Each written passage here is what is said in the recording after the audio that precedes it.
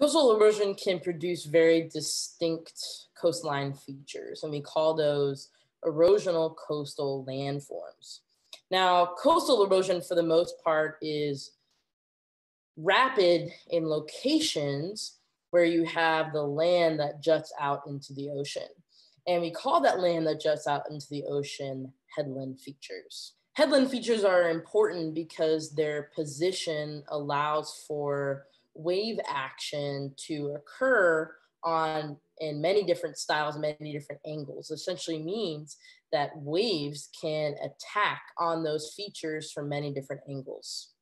On the other hand, coastal erosion still occurs, but is slowest in areas like embayments, where those areas where wave energy is diffused over broader areas. So embayments are essentially low-lying areas where you're not necessarily jutting out of the ocean, but you can still get coastal erosion. And you can still also get coastal deposition. But the dominant feature and the dominant style that takes over in this case is coastal erosion.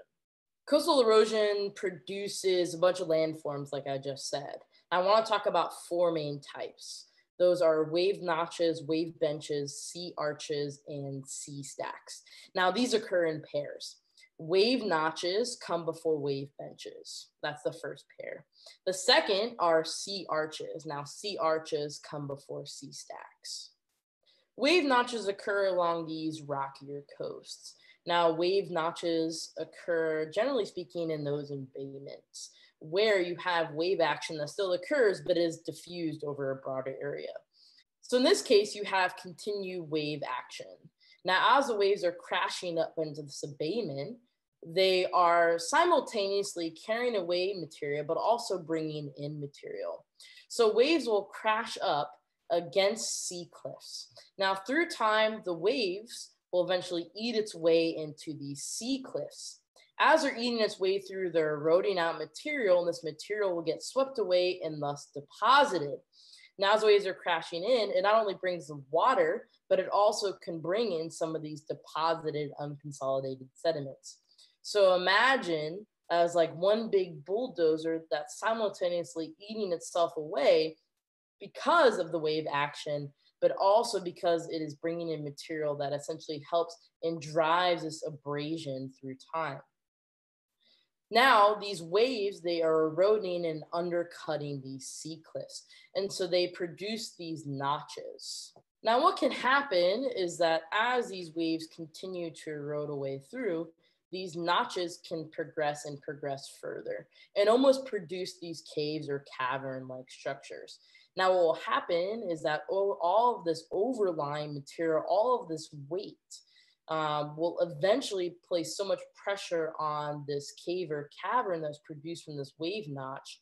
And all this overlying material will essentially collapse into this cave or cavern that was produced by this wave notch. You can then essentially progress through that same um, timeline of producing that wave notch. Through time, as wave action continues, is that these waves will essentially cut its way through time and progress. Now, eventually what will happen is you can produce a wave bench, which is essentially just a record of where these wave notches were once um, created. The sea cliffs then collapsed in on itself. This material is then eroded and pulled out. And now you can produce this wave bench. Now, these are usually speaking, they are exposed at low tides. So we start with a wave notch the sea cliffs will collapse in on itself. You produce another wave notch, and material collapses in on itself. After you have produced so much of these notches that were created due to wave action, they collapse in on itself. That cliff will eventually just retreat through time and thus producing a wave bench.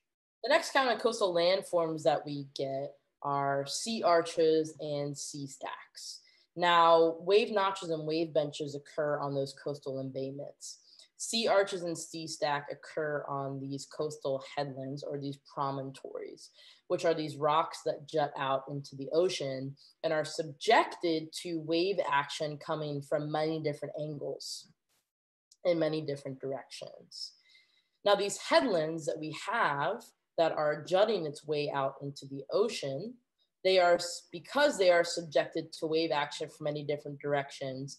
Um, these waves will eventually erode and eat through this material. Through increased wave action on these headlands, you can produce these sea arches like here on the screen. And just like those wave notches where you can get the collapsing of the cliff on in itself, the same thing can happen with the sea arch, where you erode so much of this material that it cannot handle this overlying weight of the rock material and essentially will then collapse down into the ocean. And then through time, that material gets carried away. Thus brings us a sea stack, which is remnants of a sea arch that essentially collapsed in on itself.